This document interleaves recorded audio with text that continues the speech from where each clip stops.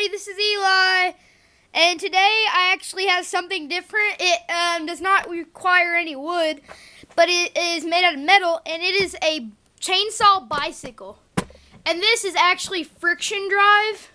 What I mean by friction drive, if you don't know, it means that the spindle coming off the motor is right on the tire, and it's just using friction to uh, make the bike move. So I have a McCulloch, McCulloch,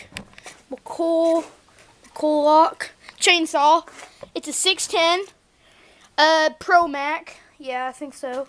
And it is an awesome chainsaw. It's, I think, 61 cc's. 60 to 61 cc's.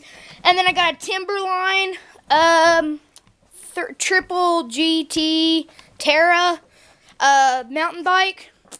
And what we have here is my dad and I, we he he welded all this. So I'll start off by this is how we started to make it. So first, if you can see right here, if you look at this pipe right here, this pipe, we first welded that off. It cuts right there. It's cut off right there. We welded that on. So that was welded to the frame. So that's very solid. Then you come over here. We got this nice piece of sheet metal. And um, another pipe is welded on the bottom right here. And those are cut right there, this pipe. So, and then we have a bolt going through, and then this thing's like a hinge. So if you can see under there, tripod's not working. You can see how that's welded on there. So then, what we did was we put a piece of angle iron on that sheet metal, if you can see right there, right here, to just give it some support. And it welds onto that bolt and goes all the way up to here. So you can see that. It goes all the way to the end. That's welded to that. Then what we have is, um, let me fix this tripod. Oh yeah, I'm back. I just had to fix my tripod. Alright, so I was at, um, I was just going to show you. So, if you look at that metal pipe, right, let me get it focused, right there, that metal pipe, that is a three and a half inch pipe ID.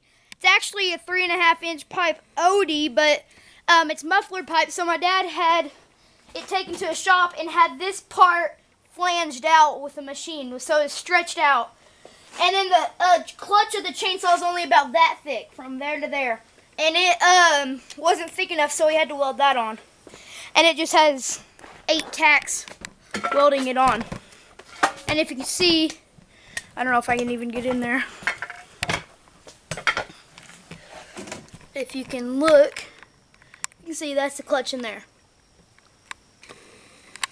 Okay, and um, I've almost covered everything on this. It's actually not that much stuff. But I just want to show you guys one more thing. Well, maybe two more things, actually. Um, if you can see right there, right here, is I have a turnbuckle. And this goes right into the angle iron that was here. And then I drilled a hole in the frame and put a bolt through it. So the angle iron worked really good. You can see the angle iron was right down there and it just goes right into it. So that worked good. And I just want to show you one more thing, guys. So if you can see right up there is an old BMX bike brake lever. Right here.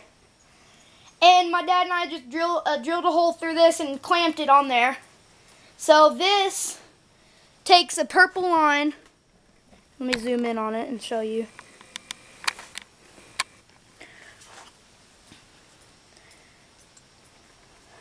So I'll keep on doing the throttle and you can look on the chainsaw.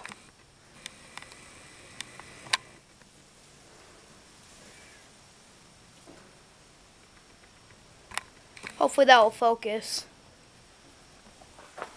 But when I do the throttle, you can see the uh, trigger is pulling. So that it, we managed to do that by taking an old brake cable and so we put a brake we drilled a hole in the handle and then just put this brake cable holder on there. And the brake cable goes goes over there goes down there and it comes back up and goes right to the throttle. So that's all it is. So um, let's get started and I'll show you how it works. Okay guys I'm back. Um, I'm just gonna fire it up and show you guys